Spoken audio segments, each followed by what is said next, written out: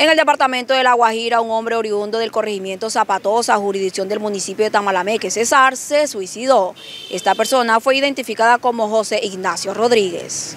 José Ignacio Rodríguez fue hallado sin vida por su núcleo cercano, quienes de inmediato le dieron aviso a las autoridades. De acuerdo a la información entregada por amigos de la víctima, Ignacio Rodríguez se había dejado de su compañera sentimental alrededor de cinco años, por lo que presuntamente desde entonces empezó a demostrar un cuadro depresivo. Sin embargo, manifestaron desconocer los motivos de él acabar con su vida. Al lugar llegaron las autoridades quienes inspeccionaron el cuerpo que fue llevado a la morgue.